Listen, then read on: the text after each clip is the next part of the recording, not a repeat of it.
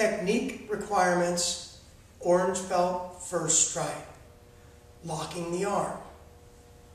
Arm gets pulled behind your back, step off to the side, horse stance.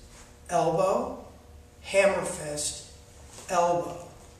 You're going to re-grab their arm with the arm that's behind your back, step around, and kick.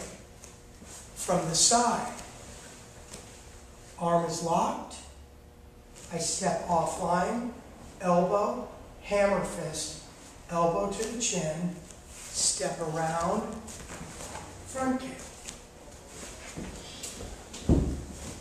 Sifu grabs me, I turn my chin into the choke, I step offline, elbow, hammer fist to the groin, elbow to the chin. I step around. From the side, Sifu arm locks me. One, two, three, step around.